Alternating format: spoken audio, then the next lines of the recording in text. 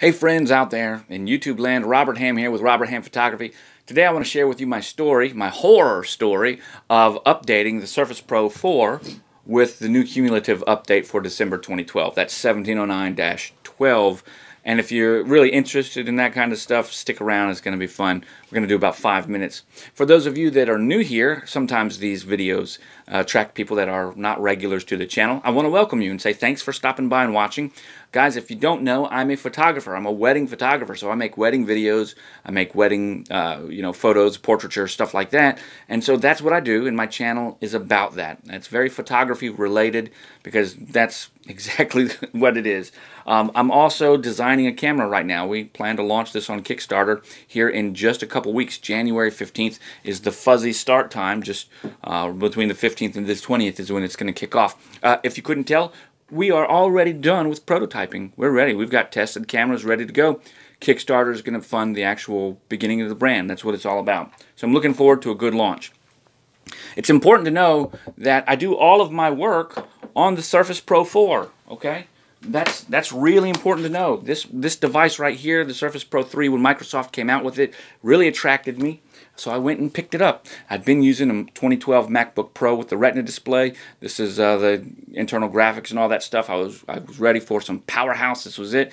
And in 2015, when the Surface Pro 3 came out, I thought, man, that's what I'm looking for, and it was great. Clients loved it, made work easy, yada yada yada. Surface Pro 4 was great for me now, and it does everything I want to do, including editing videos in Premiere. Great. So smaller, lighter, different form factor.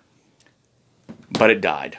It died during an update. Now, I've never had that happen before. This is a bit of a rant, but it's kind of also an explanation of what happened. And on the 2nd of December, I started noticing the Surface Pro 4 was downloading a lot. Okay, when I went and checked the task manager, I could see that back in the background, Windows Update service was running, so I knew something was coming. Plus, I had uh, I did know that the creator's update was coming out, or not the creator's update, the cumulative update was coming out. So I figured that's what it was doing.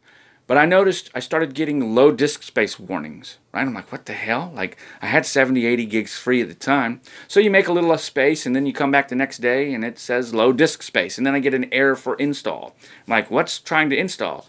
The install should have only hit around December 12th, but I guess if it downloads early, it'll attempt to update. But mine started trying to update prior to the actual uh, cumulative updates regular release, which was around the 12th. And um, I started getting these warnings. So I'd delete stuff and I'd get a more low disk space warning. And finally, uh, that went on for a couple days, uh, that I just decided, man, I'm going to restart everything. And when I did, I got stuck in this restart loop where I got the gray screen that says, Windows is preparing. Please do not turn off your computer. Now, the first time this happened to me, I'm the type of guy I like to let Windows do its thing. It's going to update, fine. Go update. I'm going to get a cup of coffee. So I come back 30 minutes later and it's still updating. Okay, fine. All right, I can, whatever. Uh, this is interrupting my workflow, but fine. It's doing whatever. Um, so I let it go overnight in that case. You know, evening time, let it go overnight. I come back the next morning, the computer's hot, the fans are spinning. It's been about 24 hours or 18 to 24 hours, and I'm tempted to turn it off, but I let it go. By the time we really hit the 24 hour mark, which was about evening to the next evening, I decided, no, I'm not going to do this. Microsoft, what are you doing? Why is my why are my fans spinning like this? Right? Why is my CPU processing? That's 24 hours of just constant 100% use is not good. A laptop hot for 24 hours straight, that's not good on your electronics. That reduces the lifetime of the product. It's not good. Electronics and heat don't work very well. Not for these kind of prolonged periods of time. Uh, and so that really made me mad. So I turned it off, got to the EFI screen and rebooted. I tried to refresh the computer a couple times. You know, keep all your files intact, just refresh. But I went through the same things. I then decided it was time to move all my files off. I had some clone drives, but I decided to move them off physically and then uh, reboot the computer and reinstall Windows from the, the security and update screen, you know. And so it gave me a fresh copy of Windows. And so then next thing I know, it tells me Windows is preparing to update, and then it gets into this update loop again. Now, when I had the free version, or the just redone version, or whatever, rebooted version, there were over 100 gigs. There's 200 gigs, 205 gigs on the hard drive that were available. And over a 24-hour period, the Windows Update sucked all of the life out of that gigs of, of hard drive space. It updated a couple hundred gigs worth of updates because my hard drive, with nothing on it from a fresh system, went from having 205 gigs free to zero. Low warnings again. So finally this time I restarted the computer. When I turned it back on, with a fresh system of Windows installed on it. I turned off all of the updates. I wouldn't allow it to do that, and I uninstalled the updates manually, downloaded it and installed them.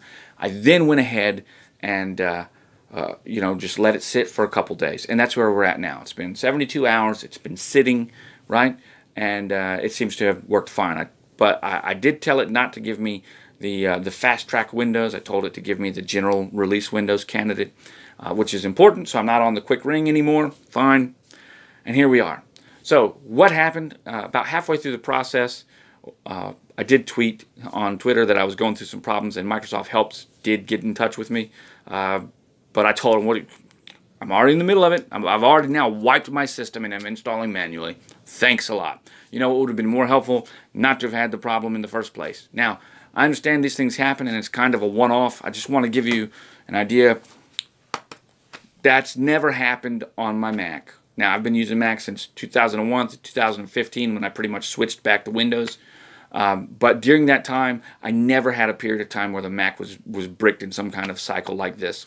I understand recently with High Sierra there were some problems with, with some updates on older Macs, particularly the, uh, the 2012 model. I understand that there's been some things that Apple's been doing ever since Steve's passed with updates. Maybe they're getting a little lax. I don't know. I've been using Microsoft Surface Pro 4 or Surface Pro 3 and I'm still going to continue to use it. It's still my preferred product in order to generate and create. It's my preferred way to interact with my guests. It's nothing as cool as showing up with a Surface, man, and then having people just look, touch, swipe, see the photos, watch the videos, sign the contracts, do the whole thing right here. That's awesome. There's nothing as cool as sitting in a Starbucks designing the Hamm camera on the Surface Pro 4 or the Surface Pro or whatever new one that come out. This device works great.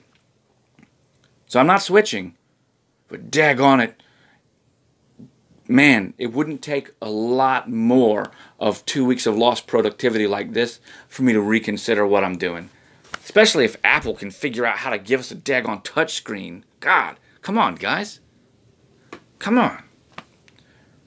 That's my rant. I hope that you found it helpful. Guys, I'm Robert Hamm with Robert Hamm Photography. I want to thank you for stopping by. If you see what you like, go ahead and hit a subscribe. I want to remind you I'll catch you on the flip side. Thanks for watching.